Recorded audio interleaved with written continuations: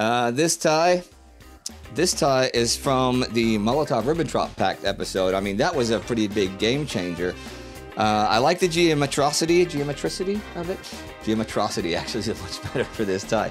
Um, but it was very special because we wanted to have a tie that you would wear if you were in the upper echelons of Soviet society in the late 30s. I don't know how many of the people in Nazi Germany upper echelons might have worn this, but I do like the geometricity of it because it is a geometricity.